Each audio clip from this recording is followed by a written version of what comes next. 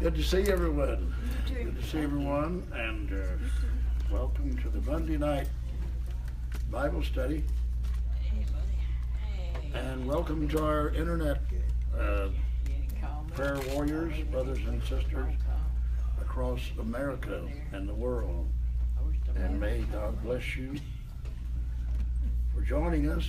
And we know that there's quite a family of you that do that. Uh, I would suggest it would bless us real good in Bradenton if you would write us and let us hear from you so that we can um, begin to, uh, well, let's get acquainted. Um, the address of our church, I believe, can be put on the screen. Is it? It's, it's on YouTube and Facebook and every place. Uh, it's on Facebook. Phone number, Where address. Pick it up without any Yeah. problem. We'd like to hear from you.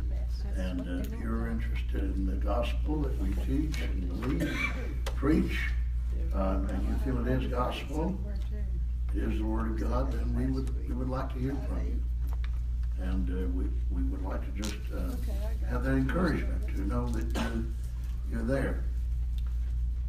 Let us pray before we do anything, or as always, anyone. And uh, we repeat many times over and again certain ones, but sometimes I just like to pray for everyone uh, that may be in need. And um, because that's, God is going to be the uh, provider. Uh, I did uh, know the brethren have, Brother Farias, Brother Les, uh, the brethren have been visiting. And I did today. I stepped in the hospital in Probably. Manatee and I had not seen uh, Sister Noel, Sister Edna's daughter, uh, and uh, she really touches your heart. Uh, she's in dire need of prayer. She's in dire need of God helping her, answering her needs, because if not, uh, her life couldn't be lengthy upon the earth in the condition that she's in. Um, Noel is a um, third generation um, person in our church.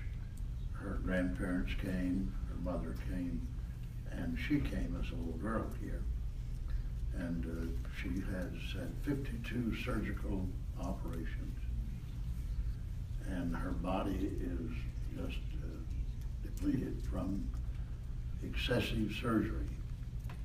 And uh, uh, she's building up fluid in- tonight. She's, uh, fluid's building up in her uh, lungs. And, and uh, so she needs the hand of the Lord to touch her. I want to remember Brother Wallace's mother continually, also Sister Nina. Uh, I know that, she and the rest home now, Brother Wallace, over there?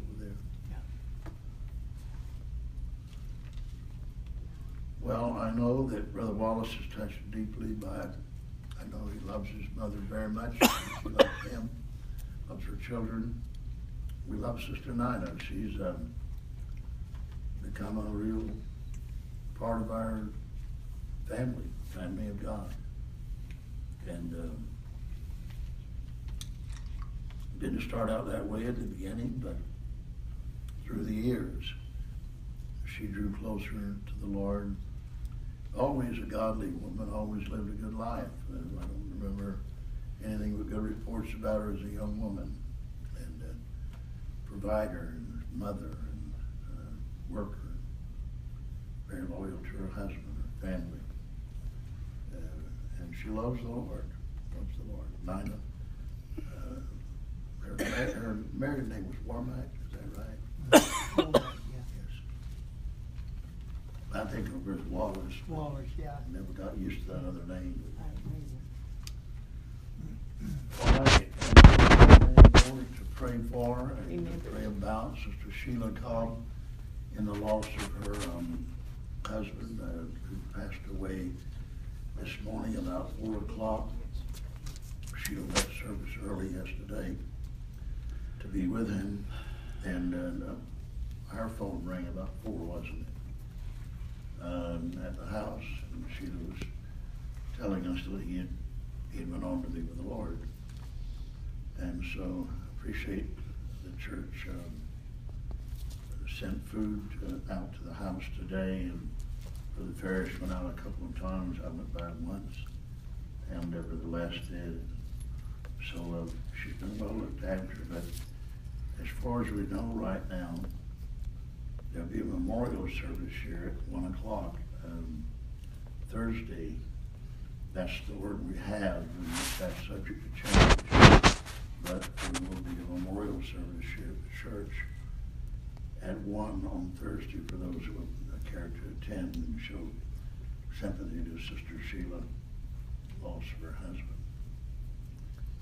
If we get any other news on that, to let you know. All right, praise God.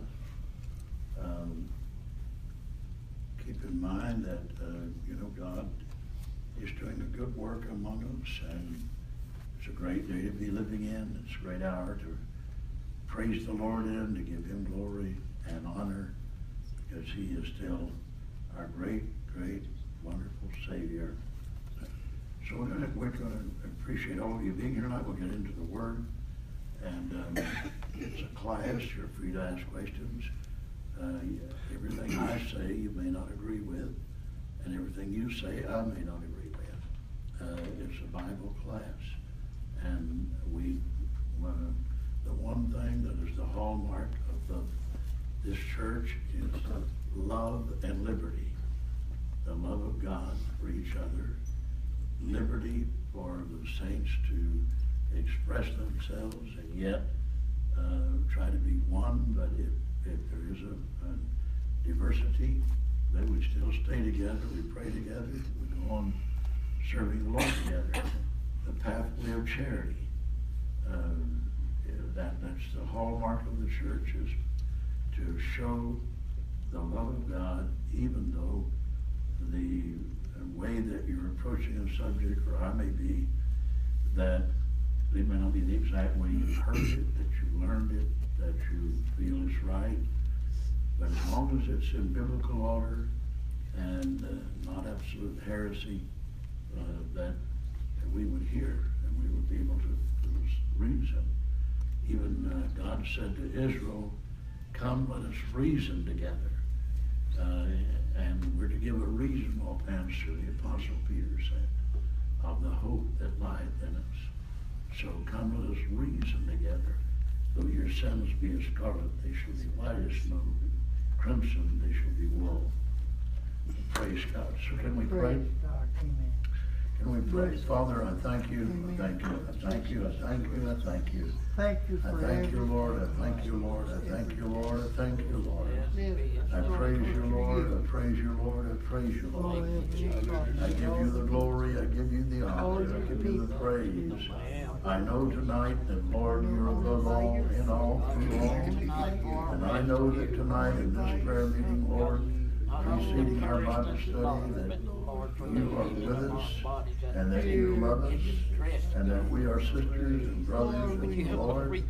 We are called to be sons of God without we're to shine as the sun, and we're always know that any darkness that comes, we can rise above it. We can be victors and not victims. We can have victory in any crisis. We can stand above any enemy. We can be strong in the Lord, in the power of His might. We know that despite our frailty, God, to know that our you a vision, imperfections, glory land. Lord, we know that you are the giver of life. And he's thinking You for are the healer of the soul, the mind, the spirit, and the body. Stay that God. Lord, that if we come to you, we will not be turned away.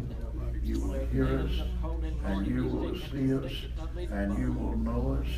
And Lord, we know that we come, and as the scripture tells us that uh, if the door is shut and the hour is midnight, uh, we will knock. And there is bread in the house. And Lord, we know that because of our importunity, uh, we will receive the bread. We know we can receive bread. Jesus, you said, I am the bread of life. Your fathers eat manna in the wilderness, they're dead.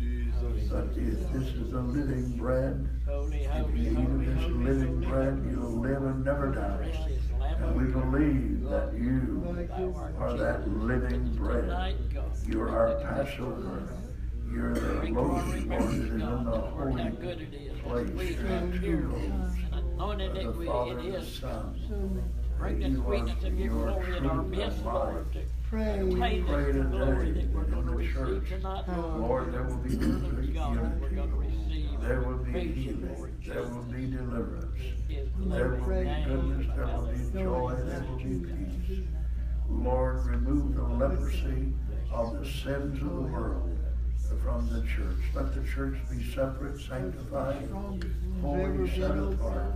And I believe today that you see Sheila's heart, Lord. Comfort her in the loss of her husband on this earth. And then comfort in the resurrection.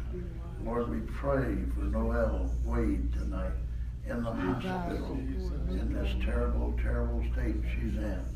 We pray for the rest of the people in the hospital, for the nurses the doctors who are there.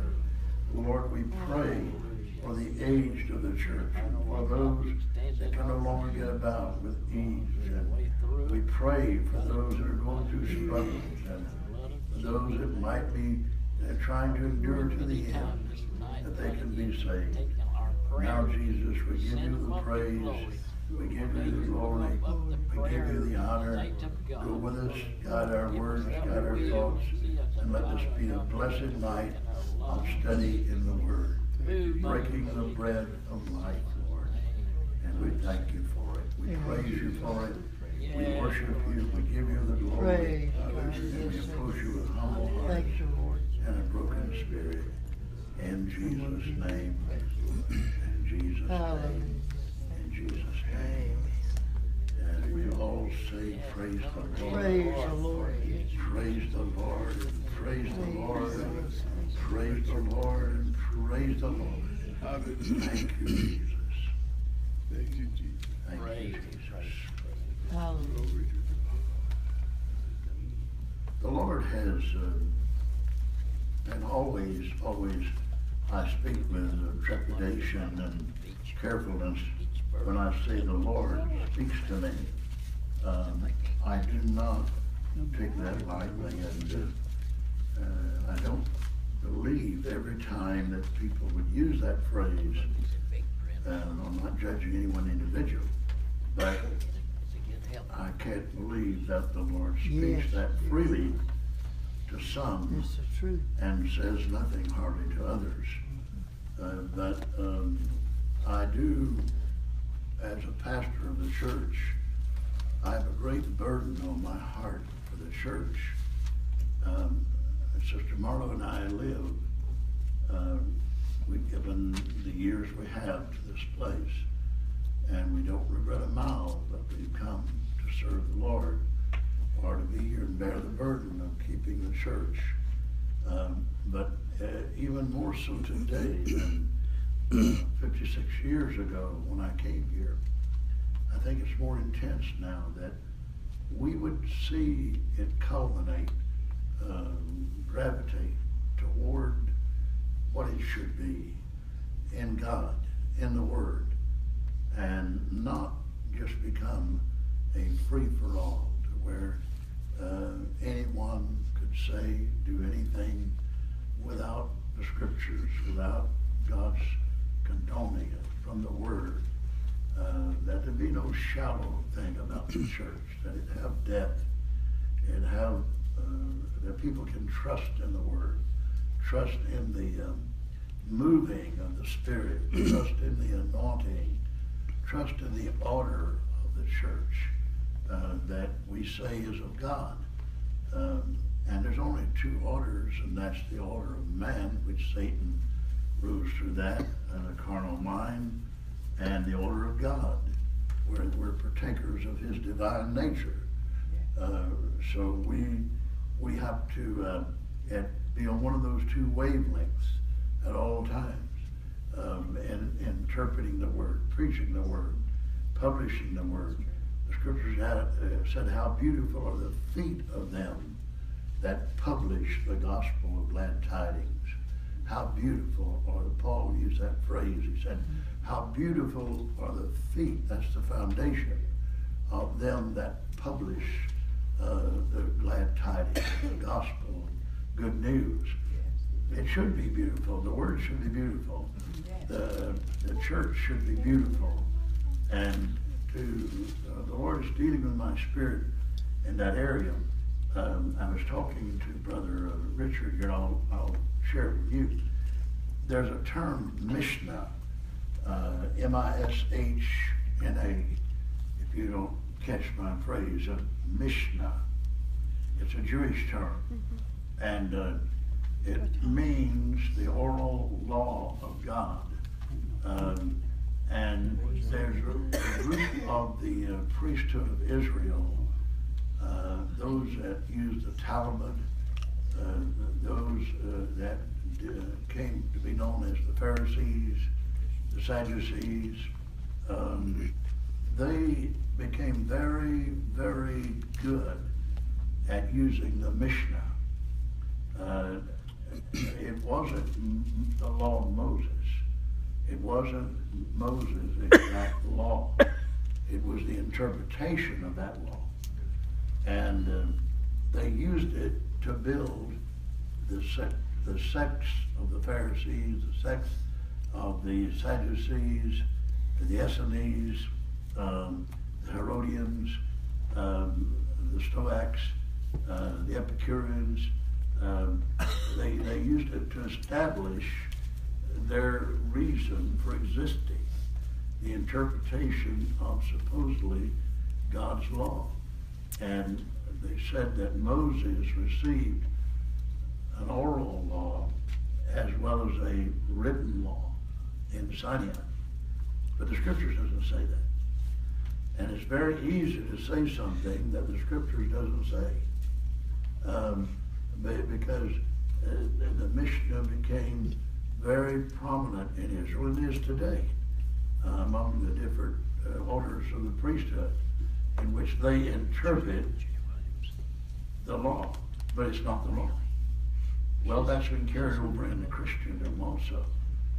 That interpretation rules more than Scripture does in many, many of our churches, in many of our preaching, much of our preaching in, in what we term the church, where the, the Mishnah or the oral interpretation of the law, uh, but it isn't Scripture.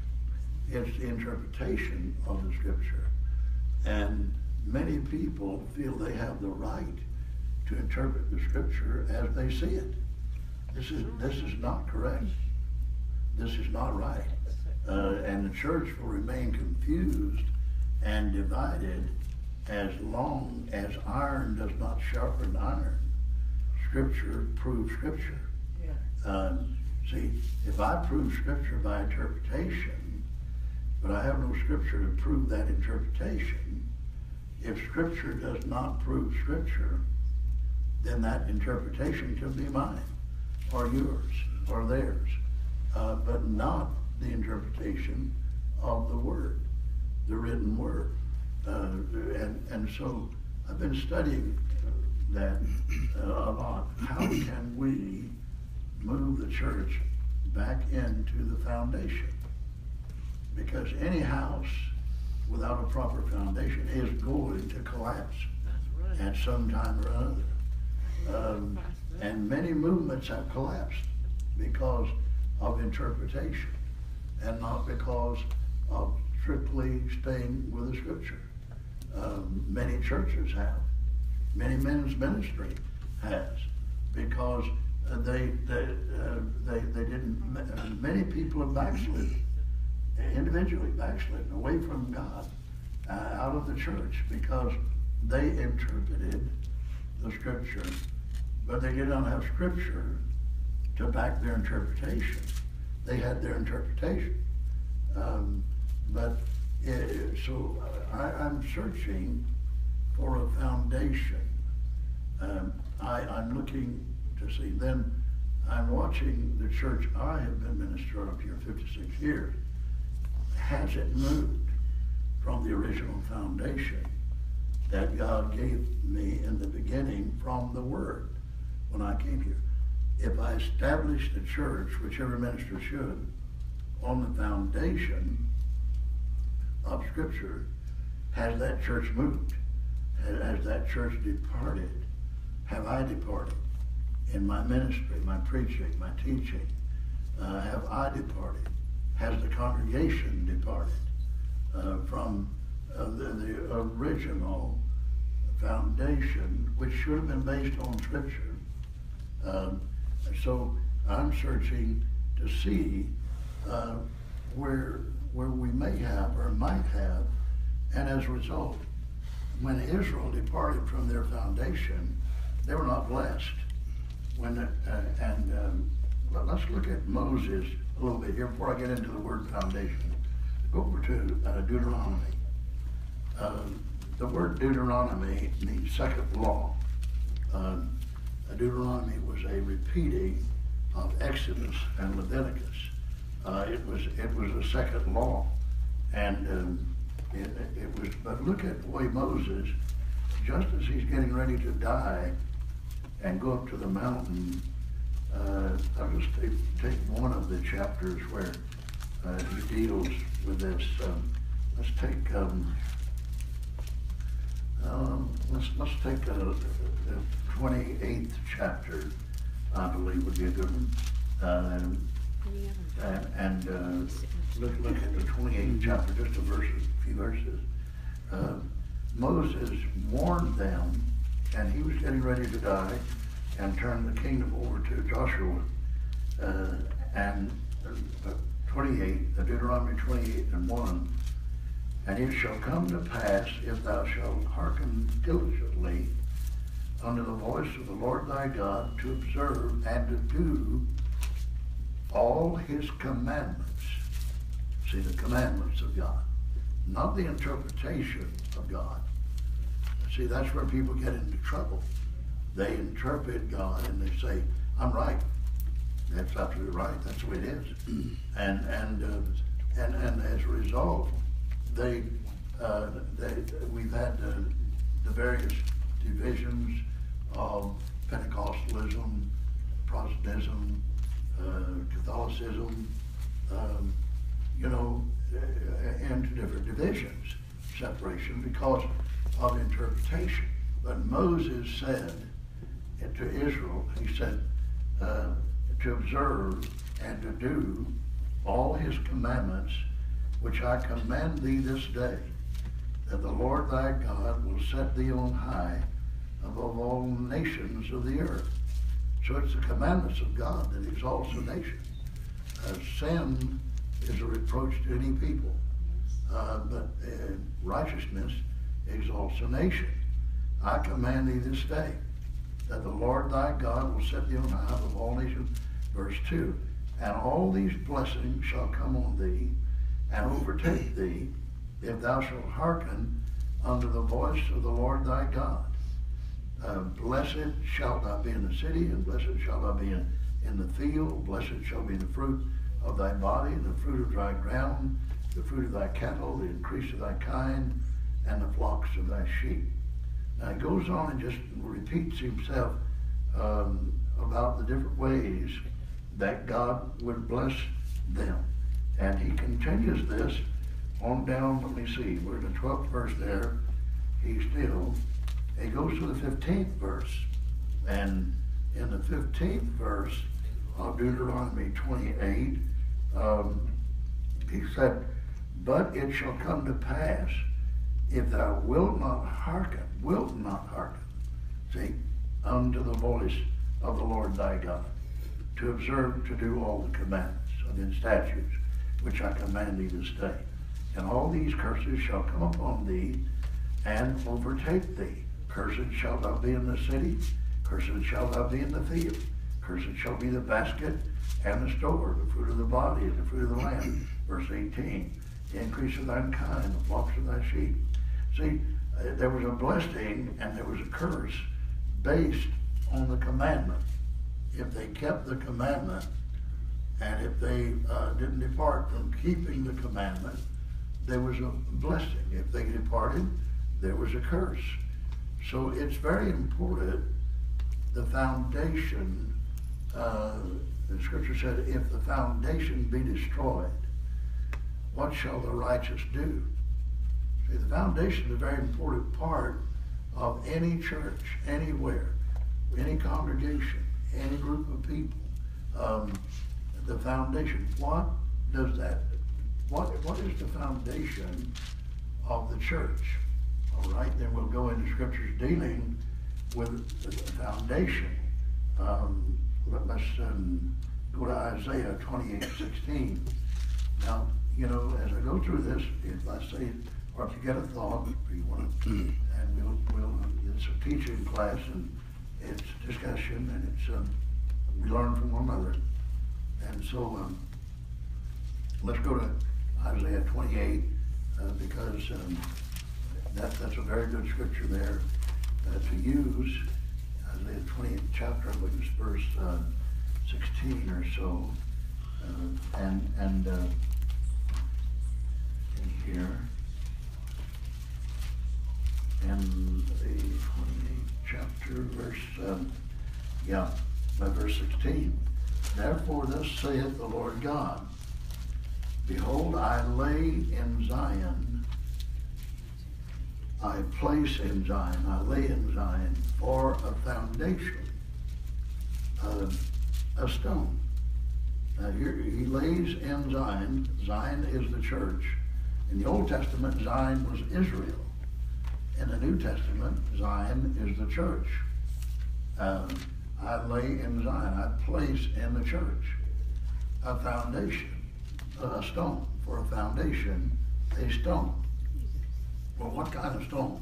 A tried stone. That's why that couldn't be Peter, James, or John, because in the beginning they were not tried, so they couldn't be in the uh, foundation till they were tried. Then it couldn't be in the beginning because the cornerstone had to be laid when Jesus came, there was no house of the church. There was the house of Israel, but there was not the house of the church. Um, and that he couldn't he couldn't lay he couldn't build that house until he laid himself a tried stone. He was tried. God knew who he was placing as a cornerstone. He didn't guess about one of the angels being placed in the cornerstone, he chose his son. And his son was altogether tried. He knew his son was obedient. He knew his son would do his will. He knew his son would carry out his purpose. He was a tried stone. Then, then it said, um, uh, for a foundation stone, a tried stone, a precious cornerstone. And he is precious. Jesus is precious. He isn't just a stone. He's a precious stone, a rare stone. Um, then he said, uh, a, a, precious cornerstone, uh, a sure foundation.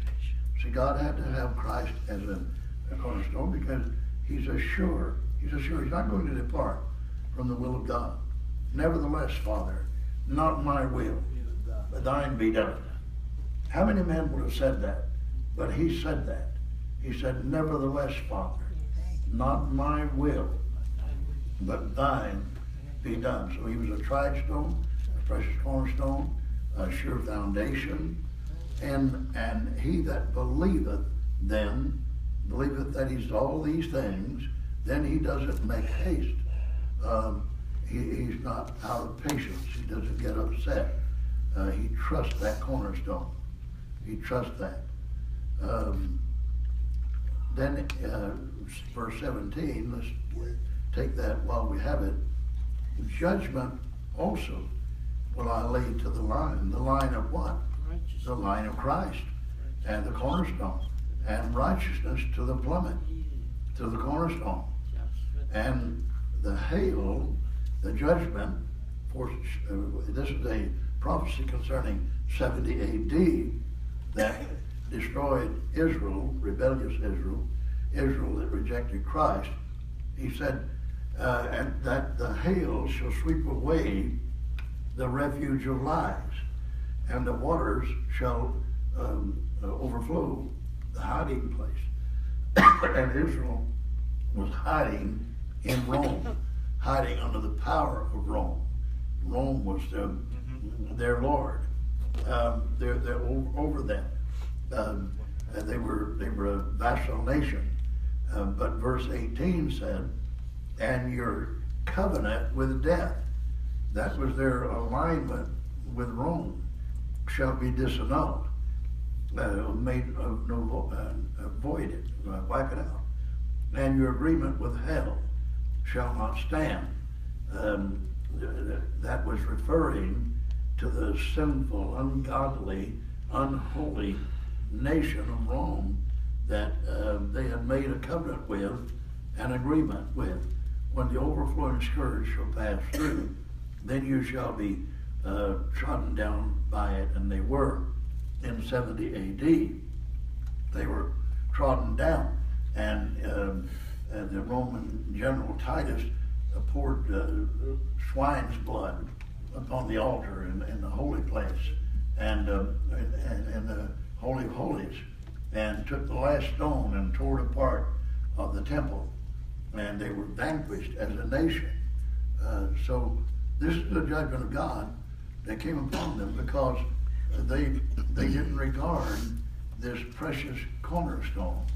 Um, Christ must be. Now, now look back uh, in uh, verse uh, 8 and 9 of the 28th chapter of Isaiah also. Uh, verse 8 For all tables, a table is a place where you take food from.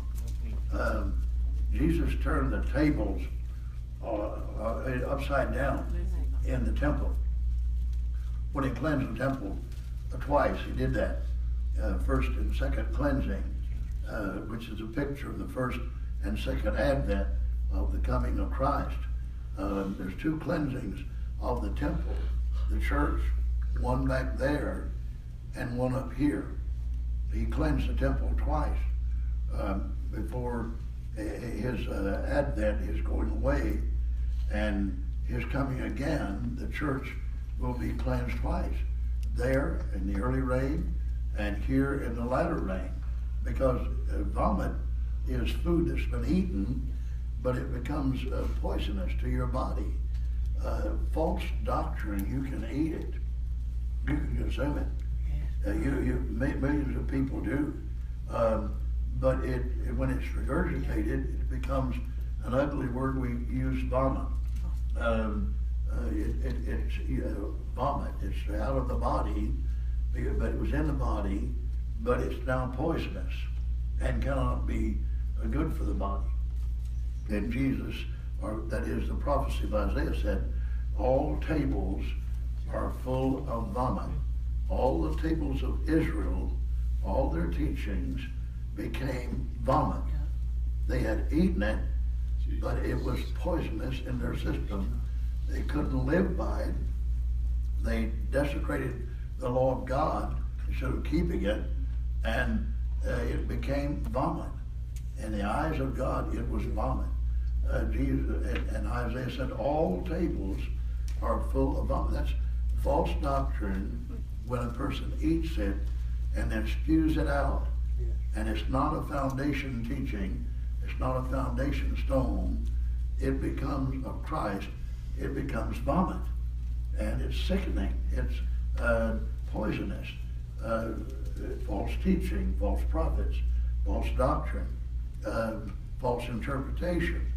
Uh, then he said, um, and and there is no place clean. There was no place clean in Israel when Jesus came. No. Uh, the scripture said in the third chapter of Matthew, uh, fulfilling the prophecy, they which sat in darkness, they sat in darkness, saw a great light. And to them which sat in the region and the shadow of death, light was sprung up. He came as that light. He came as, as that uh, uh, antidote to their evil. And verse 9 said, Whom shall he teach knowledge?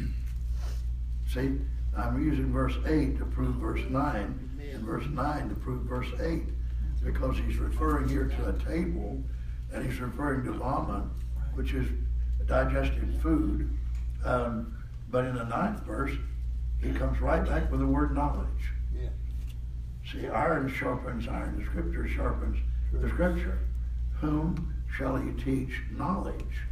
To whom shall he teach knowledge? Understanding. And whom shall he make to understand doctrine?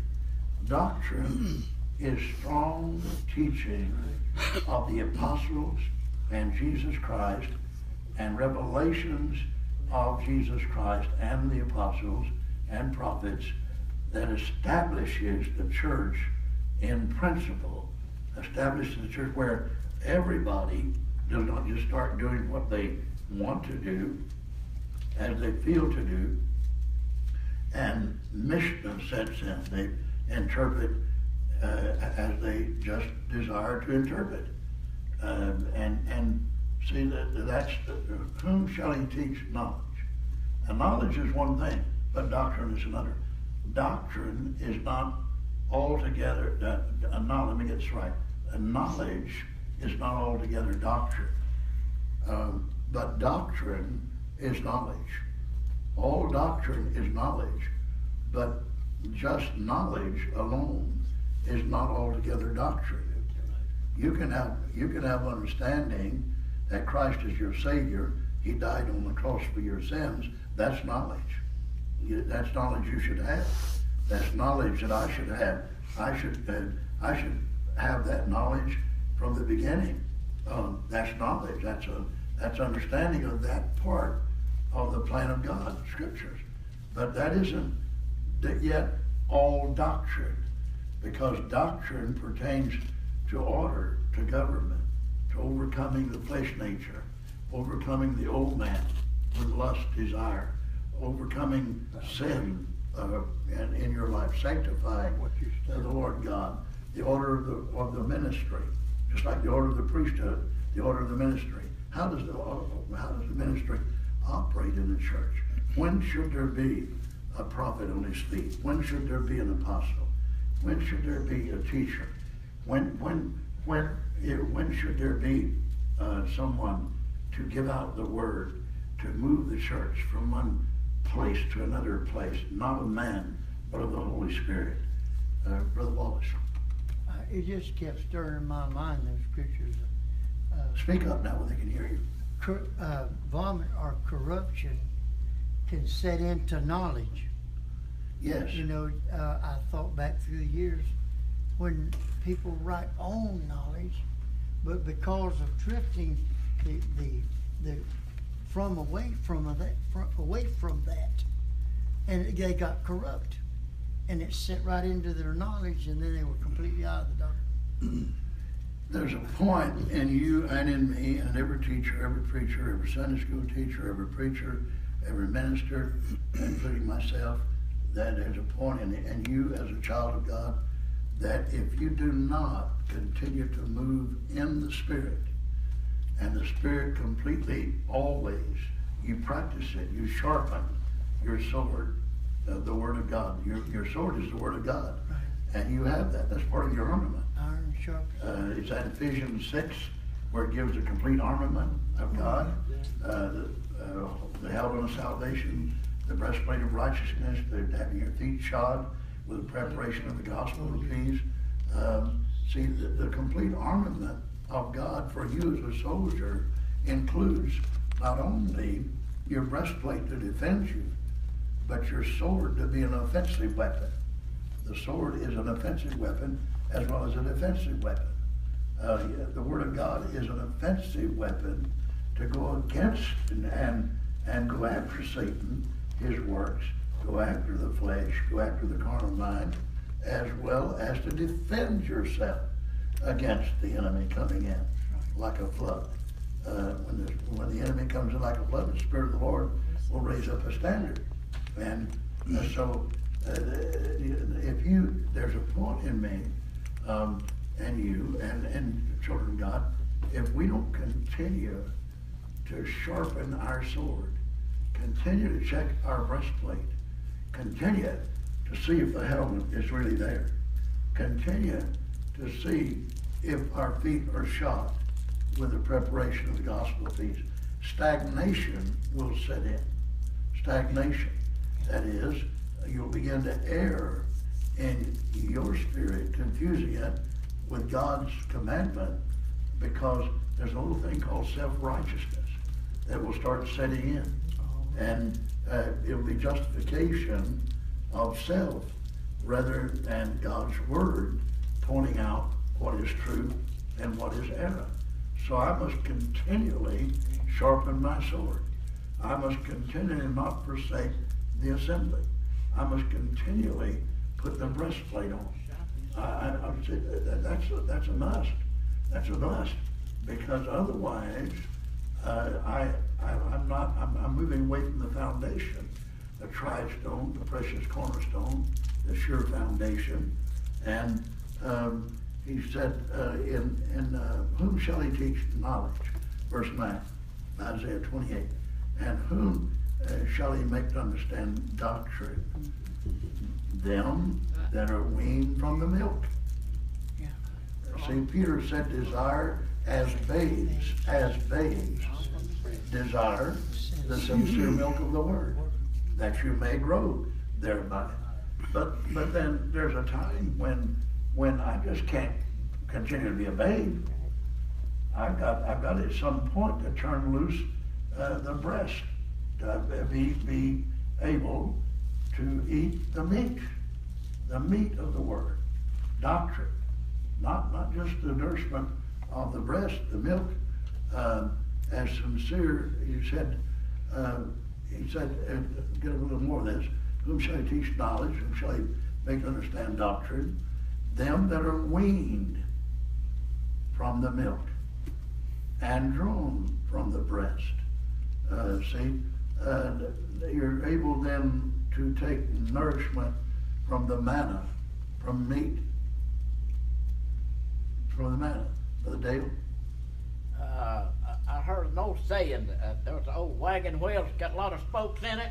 Right? The guy told me, he says, there's a lot of ways into heaven. I mean, each church got their own way of looking at it. I said, oh no, surely not, not but one way, buddy. That's dangerous. I say, it goes I'm- to the hub, but, I'm like you, but you're not in the, you're not even in the a spoke. Yeah, this is not a wagon wheel. That's what I'm saying. It, it, it looks that way, but it's not. But it's not. I Uh, believe that.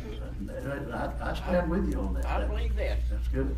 The reason why there's so many reveal of different denominations is they want something to suit their self. See, something that's easy. Because this old fire that's really burning, when you want to get a taste of it, you may backslide, but that taste of what you once had, you'll never forget. And so this is what I'm saying. That foundation, when you want to get saved, you'll try to hold on. I don't care how much you stumble. This man was talking about a while ago. When you stumble, there's always a way to get somebody to help you crawl back. Get to, get back to the Lord. Get, stay in that place until you get a foundation settled. If you don't, if you don't, you'll just keep sliding. Uh, my father was a fisherman, a commercial fisherman, and he told us boys never leave port, never take one of the boats out without. I don't care what quality nets you have. I don't care uh, what horsepower you have in that engine. He said, see if there is a good anchor on the boat. He said the most important thing you'll carry to the sea is a good anchor. And you have to have an anchor when you engage yourself in becoming and walking with Christ as a child of God in the community of the church, in the community of the saints. Because, uh, as Brother Dale said, and I agree wholeheartedly, um, uh, you know, man told me similar to that, Brother Dale. He said, heaven is like Philadelphia. He said, there's many roads to get into Philadelphia. You can come down Highway 87 or uh, Highway 64 or whatever, uh, getting out the number of the highway he said. But uh, I said, no, no, that is true. I said, heaven is not Philadelphia. Uh, Jesus settled that in John 14. I am the way, but I am the way. So there's only one way, and there's only one precious cornerstone. There's only one sure foundation.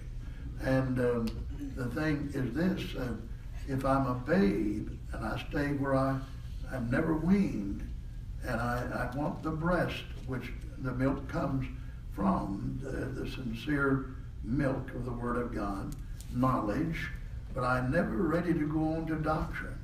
I'm never ready to chew meat. I'm never ready to, and you know, um, I watch the congregation closely as a pastor, and I, I notice sometimes when God sends us someone diverse or someone with diversity, uh, we, we have the, an open pulpit. We have an open door here for people to uh, express Christ.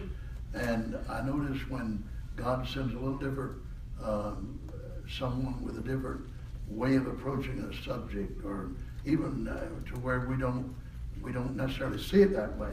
And that's our that's our right to, to withhold, saying I accept that until it's proven by the Word of God.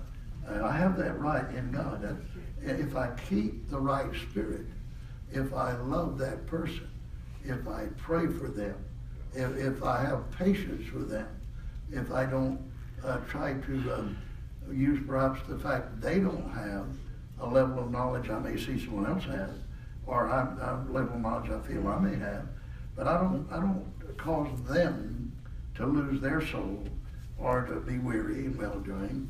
Uh, that's called the pathway of charity. Read, read the 13th chapter of 1 Corinthians and, and see, uh, though I speak with the tongue of men and of angels, Come on. and I, and, and uh, I have not charity, I become as a tinkling brass and a sounding cymbal. And you can see quickly, many times, uh, that people are not on the foundation, because if you're on the foundation, nothing will move you. Nothing will move you, because you know that you can hear anything and it uh, just be an interpretation. It is an interpretation. And I, I speak, uh, and every person speaks, subject to uh, you as a listener, seeing if I'm speaking uh, by the word, on the word, iron sharpening iron. But at the same time, I also am commanded of God charity uh, heareth all things, uh, uh, endureth all things. Uh, charity loveth at all times. Yes. See, um, you know, I'm not getting all that in, in First Corinthians thirteen. Beareth all things, is kind, all those attributes of charity, which charity is the divine nature of Christ Yes. in you. Charity is not salvation army. Charity, charity is not goodwill. I know we use that. That's charity. You give to charity. No, that's not charity. Charity is the divine nature of Christ and the understanding of that nature through His Word. Yes. And that nature then becomes your nature. That nature becomes your nature. Uh, you know, you have that nature in you because you are practicing charity. I don't get impatient. Charity is kind, is patient, uh, beareth all things, uh, uh, endureth all things, and hopeth all things. But see, uh, there, there's an order. And if we don't, and see, I put this church on that order when I came here 56 years ago. That's why this church grew like it did. That's why people came from all over the world. There's been thousands of people come through here in 56 years from countries out of the United States. Uh, people hear the, uh, heard the gospel. Uh, we've had people come from Germany and sit through one service and, and get blessed of God, never to see them again. But they went away, uh, getting a blessing from God. Uh, South America, all across. This church has been a lighthouse because the congregation was taught charity and order with that charity. So we're going to teach that again. We're going to go back and repeat our, our first works. Uh, we're, we're, we're, we're going to draw people away from the, wean them from the milk. You know, I need to be weaned from just sincere milk the Word of God. I need to, when I hear doctrine, I hear strong meat. Uh, maybe I'm not. You say, do you have to, do you have to just see every point, everything, just like they would, or they see it just like you do? No, but I have to love them. I have to love them. They have to love me. We have to love one another. We have to let them feel nothing but the love of God in us in the order of the church. So here, uh, just a little bit more on this, and, and we'll still open for comment. Um, see, he said, uh, verse 10. Now, here's what I was saying. The Word of God must prove the Word of God. For precept must be upon precept. Now, this is an established order of interpreting the Word of God. You, you give me a precept out of the Word of God, but can you give me another precept to prove that? Uh, in the mouth of two or three witnesses, every word. every word is established. And you know, we've gotten away from that order in the church the last few years. That people make precepts, but they don't have another precept. That's not biblical order. In the mouth of two or three witnesses, every word must be proved. Um, for precept must be upon precept. Well, what is the precept, the first precept resting on? It, it's the foundation. What does that first block of the wall rest on? Pounding. It, it, it, it, that, it, Foundation. it starts with the cornerstone. Yes. And from the cornerstone, the block later, uh, lays it to the plummet and to the line. To the plummet and to the line. Those corners, Corners. they must be established. Watch Glenn Frost down here, uh, that uh, Frost block layer, Yeah. Sarasota, one of the better ones. Lays the And he lays, the- lays that cornerstone, and uh, cornerstone to cornerstone, cornerstone to cornerstone. See, it must be precept upon precept, word of God upon the word of God, word of God upon the word of God, word of God upon the word of God, until the wall is established that keeps sin out and righteousness in uh, the church. Uh, he said precept must be upon precept, line upon line, line upon line, here a little and there a little. Now, what does that mean? Because you have a five-fold ministry. See, here a little and there a little. It's, it's a hand, five fingers. Uh, it isn't just a thumb standing up there. Uh, let's use, uh, let's use, and if I'm going too fast, slow me down, stop me, and you can comment or ask a question. But in uh, Ephesians 4 and 11, he ascended upon high. Put that on the screen and get that. He ascended upon high. And he led Christ. He led captivity. The, the, the, the earth that was in captivity to sin, Yes. he led. When he ascended on high, finished his work on the cross, said it is finished, went to the grave, rose, and then ascended after 40 days and nights. He then, uh, he ascended up on high and he led captivity. He led captivity. Captive. They became captive to Christ and not the devil. Yes. He took them away from the devil. Yes. Jesus came and ransomed Yes. humanity out of hell. Out of, out of, out of sin. Uh, his death on the cross did that. It is finished. He alone, he alone was the ransom note Yes, he would. that lifted the penalty of death from every human being. Uh, that did away with Romans 6:23. The wages of sin is death. But when you follow Christ and he led captivity captive, he gave gifts unto men. And he, why did he, why did he give gifts unto men? Why, why didn't Christ just do it all? Why didn't Christ just stay here on the earth and just do what he did? Heal the sick, um, do the work. Uh, why did he do? it? Because, because he had a divine order. It was precept upon precept. Even Christ must obey his law because his law is the law of the Father. And even Christ must be subject to the Father. So he couldn't establish a new law that the Father did not establish because he's subject to the Father. So uh, Christ then uh, had to then give to men. and he gave gifts unto men. He gave gifts unto men. And he gave, since it, was a many-membered body, then Christ was, was the sole inhabitant of the kingdom of God at one time. He was the kingdom of God. He was the total person in the kingdom of God before he went to the cross. And at the cross, he was the sole inhabitant of the kingdom of God. The kingdom of Israel, kingdom of the law, the kingdom of God. And he was the sole inhabitant. But then he led captivity captive. He laid precept upon precept, line upon line. And then it was here little, the apostle Peter on the day of Pentecost. God used him. And the eleven stood up with him. That was the, that, that was the beginning of, of that work. Okay, then when the, eleven stood up with him, then here was um, the thirteenth chapter of Acts, and well, you know, the, the seventh chapter of Acts, and there was Stephen the evangelist. That was another part of the hand, uh, the hand of God. Yes. Then, in the thirteenth chapter of Acts, here was the city of Antioch, the church in Antioch.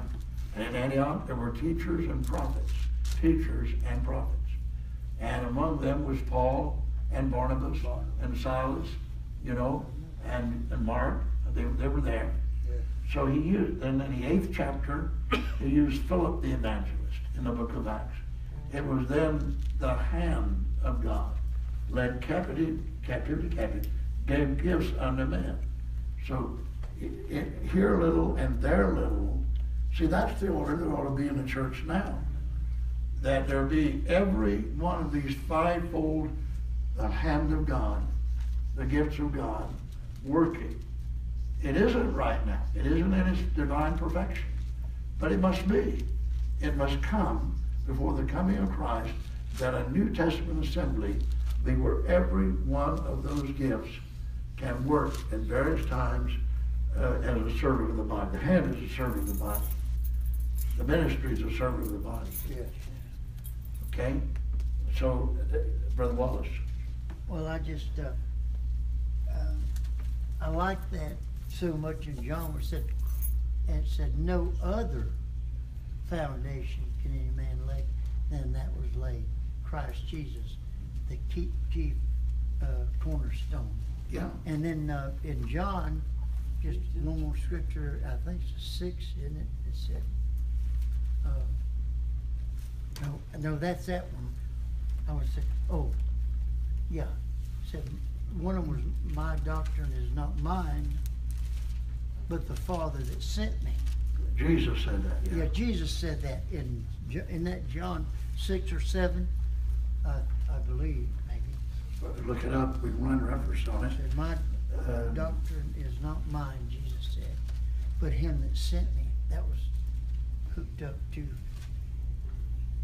He said, the witness, it is written in your law that the witness of two men is true. yeah, that was He it. said, it's written in your law that the witness of two men is true. He said, I am one that bears witness of myself, Son, and my Father is the other. other. See, Jesus confirmed Scripture by Scripture. That, that- that's very important, Oh, my, yeah. and you're gonna be hearing a lot of me on this. Because I wanna move this church back on the foundation. Completely on the foundation. That's my desire. That's my, now, it may cost me some years. It may cost me people that wonder where I'm going, uh, but, but I, I assure you, I won't do anything or move in any way outside of the scriptures. But the church must get back on the foundation. Uh. Does the foundation please me, or please you no? Because in, in Christ's law, there's offenses. Uh, but we're not to be offended to where we run away from God. We're to want to draw nearer to God.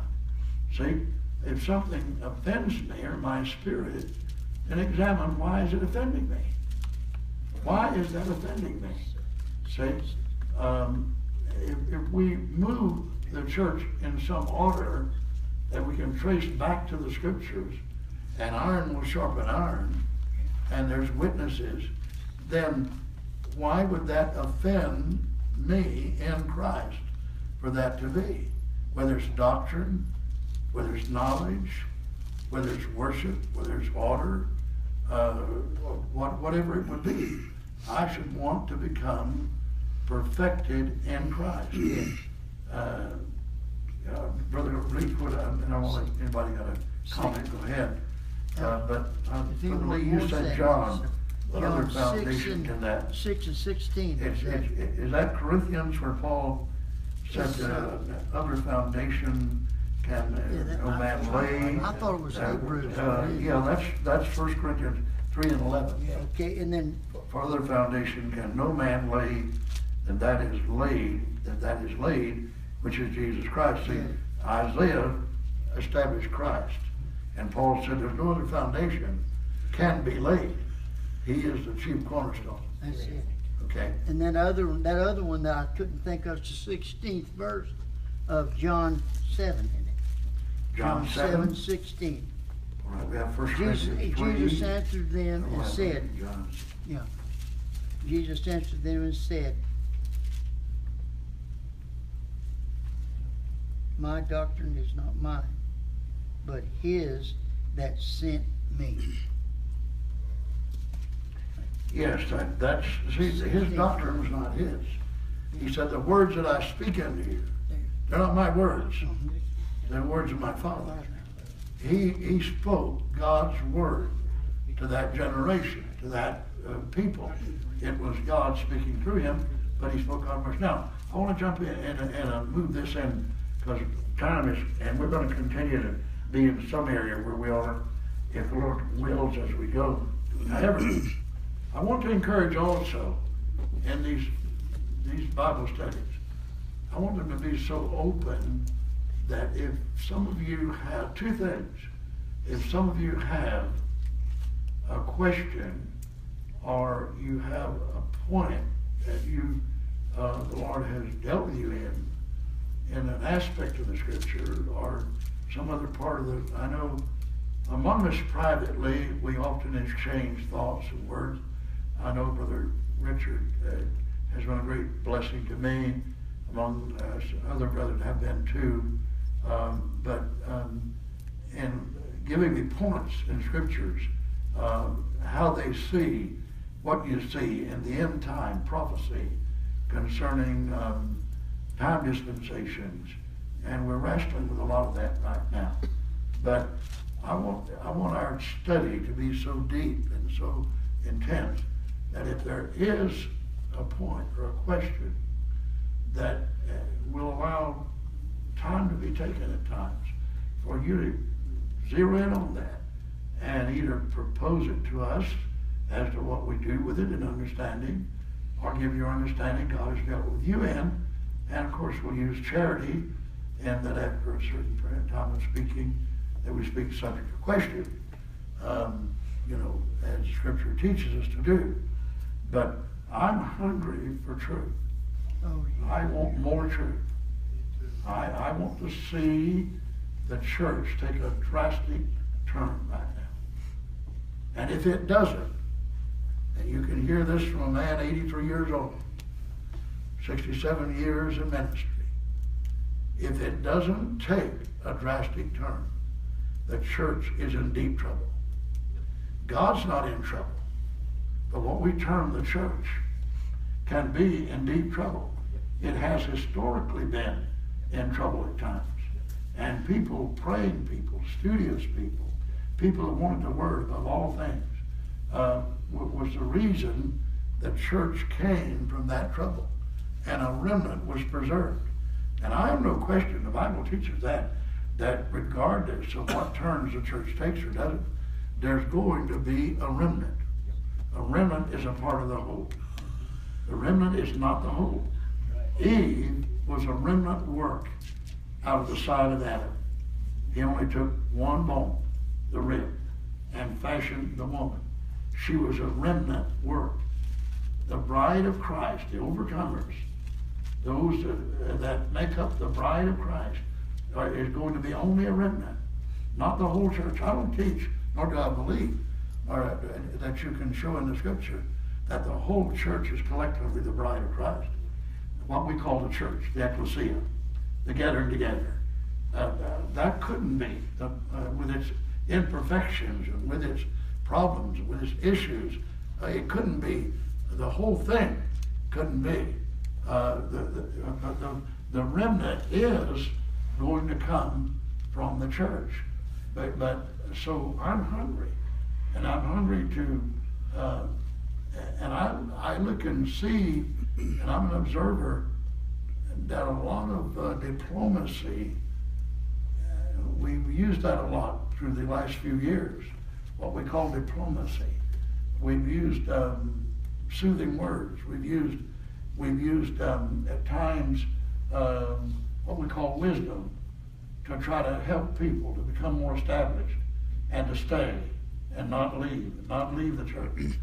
That hasn't worked. There have been hundreds and thousands of people leave movements that God was dealing with their soul to come to God in, and they made a start, and they and they got so much, but then because of flesh nature, and because of false doctrine, and because of men's practice rather than God's practice, those people could not move on in that movement or that dispensation.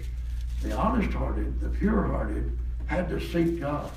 They had to say, "Where is God? I want to find God." And they and they went on. Well, I, I believe that's the time that we're living in now. So the methods we've used has not now even even the entertainment world. Somebody said, "Look at the mega churches and look what they're doing." No, have you ever thought about the casualties mm-hmm. that are in the mega churches? People that get left out, people that don't find that relationship with God, people that uh, by uh, the, the great numbers that wind up back in the world. See, sometimes we take ourselves apart when we have a casualty, but uh, the entertainment world isn't doing it either.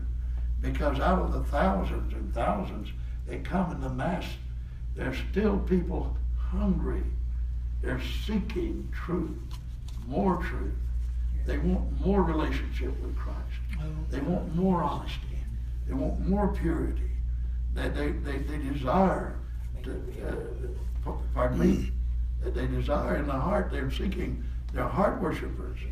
Uh, they, uh, they must, they that worship God must worship Him in, in spirit and in truth. So what I'm teaching here goes along with all this, but uh, in a, a short moments I have before the class ends and the choir comes in, uh, but um, here's what I want to do. um, Hebrews 6. Uh, let's a look at Hebrews 6 and get a, see, this is dealing again with the foundation. And I'm pretty well staying within my perimeter on that tonight. And, and we're going to go deeper into the foundation. What is the foundation? Uh, what what is the foundation? It's the it's the it's the sole um, truth that the church rests upon is the foundation, and Christ is the chief cornerstone. Um, we know the apostles and prophets were put in to the foundation later, but they were not put in there in the beginning. The cornerstone had to be laid before the foundation of the apostle. I know Paul said in Ephesians, the second chapter, um, that you're no more strangers and foreigners, fellow citizens with the saints and of the household of God, and are built upon the foundation of the apostles and prophets. But that, that didn't come till later. The cornerstone had to be there. So here in uh, Hebrews 6, uh, no, but I want to give five. I have to use five. Uh, let's look at five, uh, verse 12. For when, for the time, Paul said, this is verse 12 of chapter 5. For when for the time you ought to be teachers. You ought to be teachers. He just said that to the church. Said the time is you ought to be teachers. That was people sitting under Paul's ministry. Because Paul was a master builder. He said he was. I, as a master builder, have laid the foundation. That every man take heed how he builds thereupon. 1 Corinthians, third chapter. Uh, he can build wood, earth, he can build gold, silver, precious stones.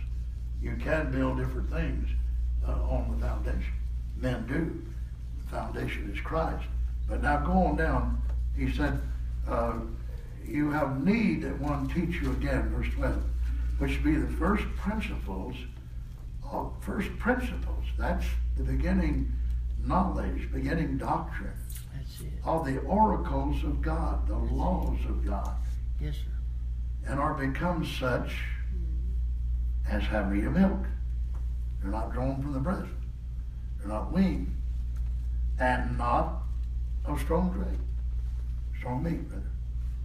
For everyone that useth milk is unskillful Skill. in the word of righteousness, for he is a babe. Now, that's where the mercy seat is established in the church. That as the mercy seat was in the Holy of Holies, so the mercy seat must be in the church. That when you see a babe on, uh, before the church, and they're using the word unskillfully, and the Holy Ghost shows you, not your judgment, but the Holy Spirit. And how do you discern between your judgment and the Holy Spirit? There's only one way. The Holy Spirit is full of love. Because the Holy Spirit is love. God is love. So when you're judging a babe, though you recognize it is a babe, because they're using the word unskillfully. Now, you couldn't know that unless you have matured, unless you have become one that isn't using the word unskillfully. But you've matured. You become one that can have strong meat, strong doctrine. So therefore, when you see a babe, you know that's a babe. They're using, the- that they're unskillful in the word of right. But you don't destroy that babe. No more than you would destroy a babe, you would see they were still nourishing the breast. Yeah, so in the house of God, you don't destroy a babe because they're using the word unskillfully. They can't do any more than that so. if they're in that state. If I'm in that state, don't judge me because I'm using the word unskillfully. Pray for me that I'll grow, that I'll bounce. Now, if you're, i- the only way you can know that a babe is using that word unskillfully is because iron is not sharpening iron. The word of God is not proving the word of God. They're making disjointed statements that isn't based on scripture, proving scripture. But you still love them. You still pray for them. You still know that one day they can grow up. They can become strong. They can become like you feel you are. Uh, it, so uh, that, that, that order in the church lets us have patience, uh, bearing all things, hoping all things, enduring all things. See, that, that's the pathway of charity.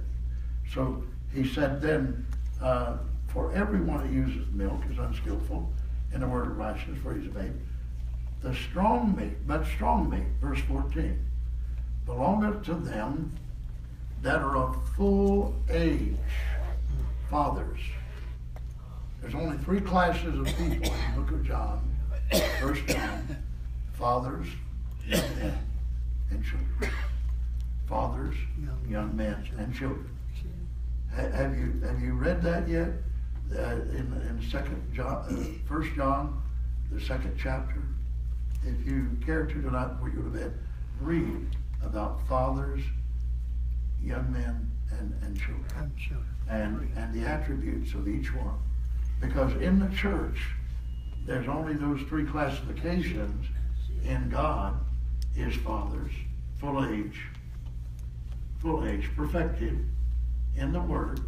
The Word has perfected them. They, they're fully, they can use strong meat, strong doctrine, strong knowledge, uh, strong experiences. But strong meat belongs to them that are of full age, even those who by reason of use. How did they get to be fathers? How did they get to be strong? Who by reason of use have their senses. What senses? God, Hearing, seeing, smelling, tasting, feeling. You have those naturally, don't you?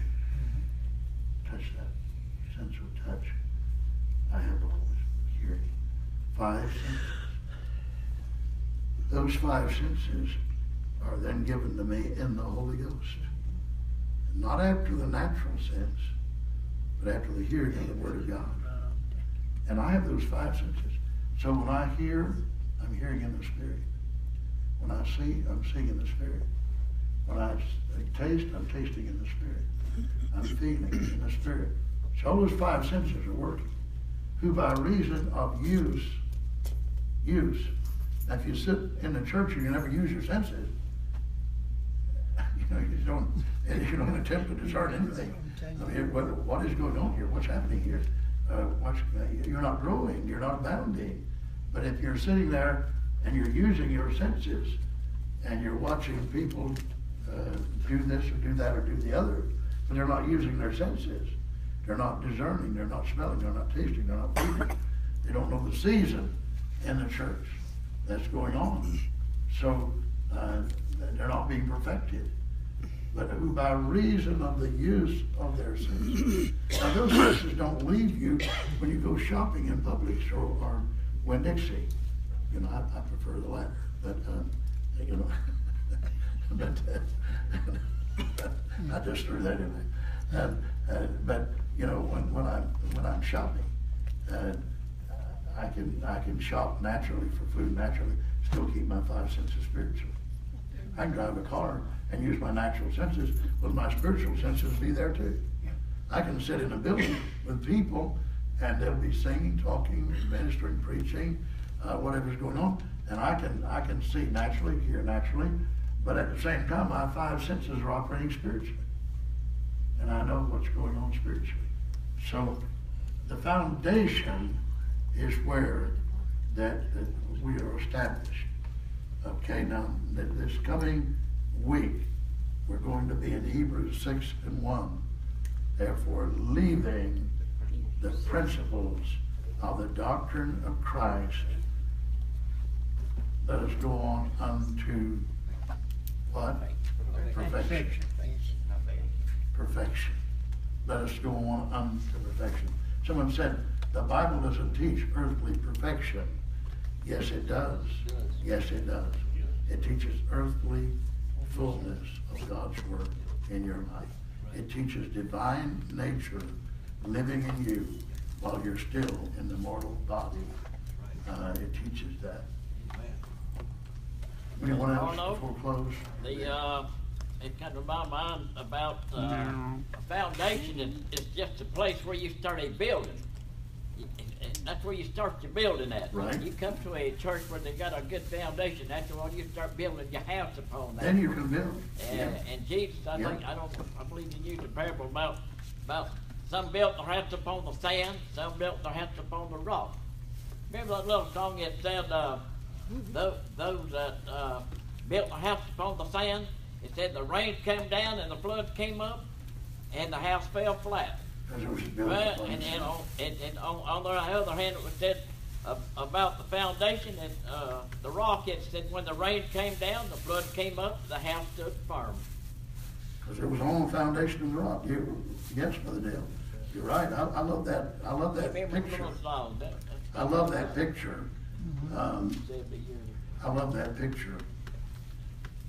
If, if we could study in the days to come, we left to study, and I want to intermix it with the study of foundation and the, um, uh, you know, I want to intermix it and the church moving back on the foundation. Uh, about a month ago or a month and a half ago, I gave you the thought, could, could we prove or show by scripture that we're living now in the very time dispensation of the sixth seal?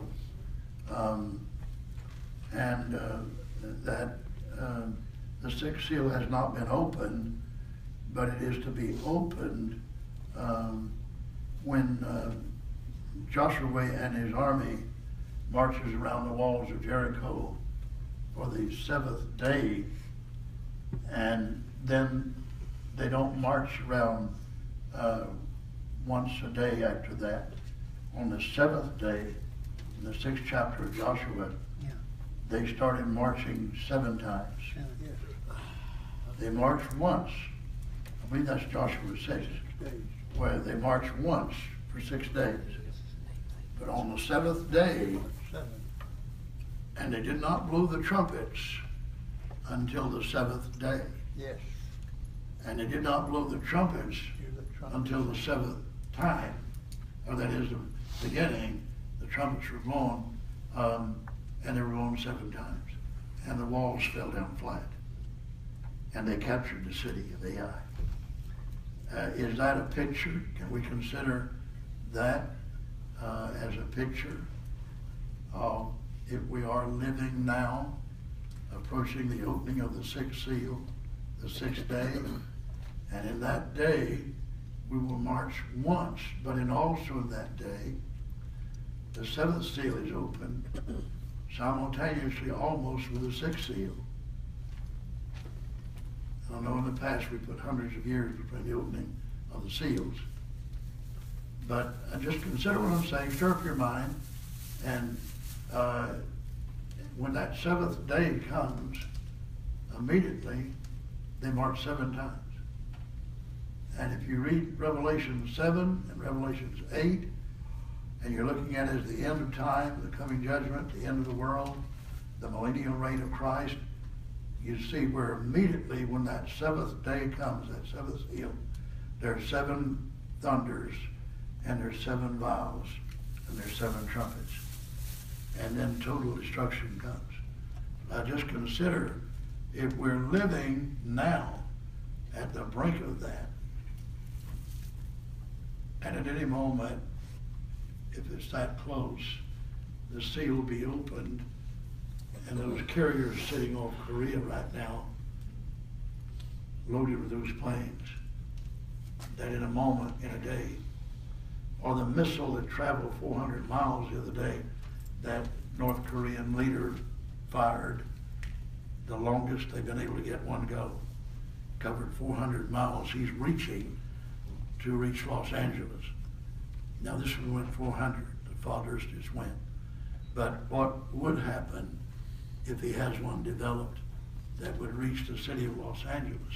I'm saying this to say to the church, I think we should be getting ready for the, day of the Lord to come. And let's not be slothful. Let's keep studying. Let's keep praying. Let's keep attending. Let's give up what we have to give up to follow the Lamb, to follow the Word. Because if you gain the whole world and lose your soul, what will it profit? And what will a man give in exchange for his soul? That the scripture asks that. So give up what you need to give up to get the word of God and to be prepared. Because I sure want to march with Joshua men on that seventh day. I, I don't want to be caught uh, where I can't march and go around the city of Ai, the city of Babylon, and see the walls fall down flat. Thank you for being attentive. Thank you for coming. Thank you for being here. You've been a very good class, and I hope I haven't bored you. or Praise God. Hope I haven't monopolized the conversation Wonderful. too much. Uh, but you've all been very good, and please pray and please get in and please be zealous and uh, keep your uh, everybody. Uh, everybody just become soldiers of the cross, and let's keep the church strong. Let's keep it strong because the, uh, the, the church is founded upon the rock, and the gates of hell shall not prevail against it. Well, God bless you. And everybody said, Praise, Praise the Lord. God. Praise the Lord. Praise the Lord. Let's pray for each other, Amen. lift each other up, help each other.